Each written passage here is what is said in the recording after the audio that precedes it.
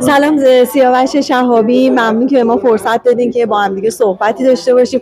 خب دو روز در کنفرانس بودیم. کنفرانسی که برگزار کننده اون اکس مسلم بریتانیا بود. اول می‌خوام بدونم که تجربه خودت از بودن در این کنفرانس چی هست؟ اونو برای ما توضیح بدیم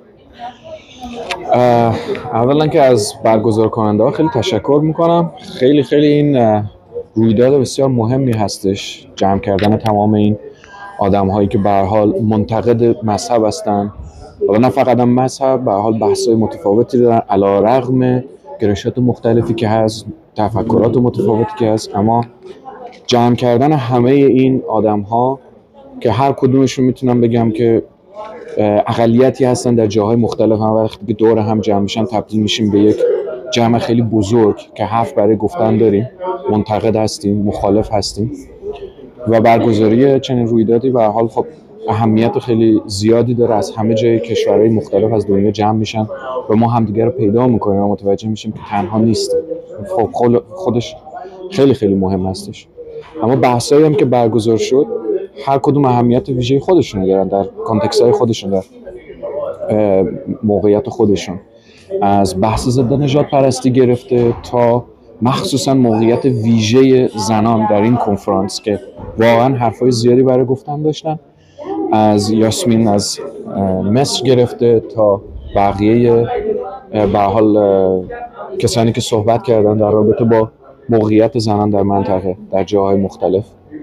و من فکر می‌کنم که هر کدوم از این مباحث رو که کنار هم دیگه بگذاریم موضوعیه که خودش جا برای باز کردن پژوهش های مختلفی رو ایجاد می‌کنه. هر کدومش می‌تونه برای خودش یک جنبشی رو به وجود بیاره و سازماندهی بکنه که البته هدف هم در نهایت همین شدش که ما نیازمند تقویت این شبکه ها هستیم. بهترش بکنیم دور هم جمع بشیم که بتونیم مثل یک سازمان متحد در رابطه با موضوعات مختلف بیشتر کار بکنیم مخصوصا نجات پرستی که خب الان دیگه بحران بزرگی هستش در تمام دنیا از اروپا تا آمریکای شمالی. باید با این پدیده مبارزه کرد با این جنبش به حال سیاسی. مرسی از توضیحات تا به اینجا. یک پنل خیلی مهمی در کنفرانس بود در مورد علم. خب اینکه چقدر واقعا علم می‌تونه به چالش بکشه این موضوع رو و خب خیلی خیلی اکتیویست های خیلی مهم و برجسته ای در این پنل دعوت شدن که هر کدوم به نوبه خودشون همونطور که تو گفتی می‌تونم بگم در زمینه کاری خودشون پروفسور هستن. خب تو خودت فکر می‌کنی چقدر مهمه که در این بحث اکس اساسا و اساسا نقد مذهب چقدر مهمه که ما وارد بشیم به حوزه علم؟ و همونطور که پنلیست هم اشاره کردن چند تاشون مهمترین موضوع اینه که ما چجوری می‌تونیم انسانها رو ترغیب بکنیم برای مطرح کردن سوالهای بنیادی و به چالش بکشن. هر آنچه را که می‌دانن. هیچ چیزی قطعی نیست. هیچ چیزی مقدس نیست. و پنلیست هم روی این تاکید داشتن. نکته مهم اینه که چجوری میشه سیستم آموزشی چه فردی و چه اجتماعی رو به مسیری برد که یاد بده چطور می‌تونیم سالهای بنیادی بپرسیم. این خب خیلی مهم هستش. و همینطور متد برخورد علمی با همه پدیده ها علم این نیستش که فقط یک چیزی رو آماده در اختیار ما قرار بده. علم همون پژوهشه همون سوال کردنه. و خب این خیلی مهم هستش. اون چی که توی پنل هم مطرح شد شده این بودش که چجور ما می‌تونیم با این پدیده به صورت دوگماتیسم مبارزه بکنیم و به چالش بکشیمش که یک جواب رو به ما میده؟ توی سوال و جواب به بود توی بحثا که چرا مردم به, به مذهب بیشتر توجه می‌کنن تا علم؟ برای اینکه برای سوالهای پیچیده پاسخهای بسیار ساده ای داره. خیلی ساده این سوالا رو جواب میده.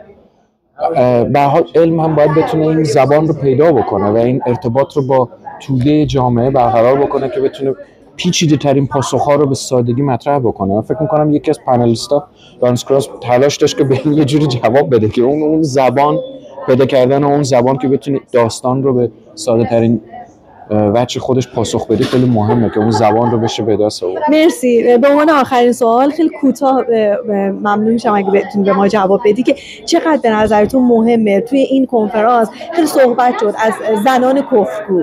چقدر به نظرتون نقش دارن و چقدر مهمه که اکت واقعا اعتراضی داشته باشن و اکت خودشون رو به نمایش بذارن و به عنوان یک زن مرتد زن کفرگو حضور داشته باشن؟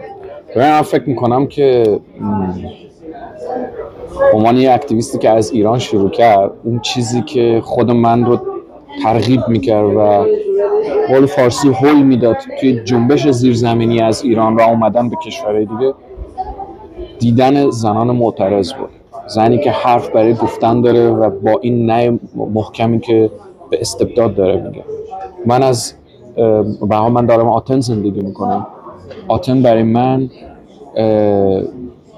به حال یک کشوری یک جامعه که اونم با نهاد کلیسا دست به گریبانه و مبارزه می‌کنه با نهاد کلیسا. علا رقم اینکه به حال یک قانونا مثل یک کشور سکولاره اما با نهاد مذهب با نهاد کلیسا دست به گریبانه و مبارزه می‌کنه. و اونجا بدون حضور این زنان معترض من شانس زیادی رو نمی‌تونم ببینم که آدم مثل من هم بتونن بیان و ابراز وجود بکنن.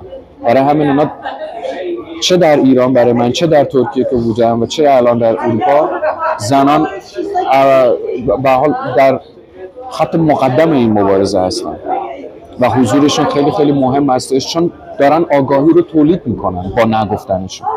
و توی کنفرانس دیدیم بیشترین آگاهی داشت از سمت خانمای معترض می آمد چون تولید می‌کنن و دست یعنی تو, تو خط مقدم هستن که مستقیما اون نهاد استبداد رو دارن به چالش می‌کشن من باز دوست دارم به یاسمین رفر بدم از مصر که برگشت گفتش که تا جایی که زن فکرش رو بیان می‌کنه کسی باش مشکل نداره. همین که فکرش رو بیان کرد اون موقع متوجه میشه که همه باهاش علیهش میشن. پس این فکرشه که خیلی مهم هستش که بیان می‌کنه و تبدیل میشه به یک عنصر بسیار مهم در پیش بردن این جنبش ضد استبدادی و ضد دینی. ممنون توضیحاتت و مرسی از اینکه به ما وقت دادی. امیدوارم که به زودی دوباره همراه ما باشی. منم خوشحال میشم.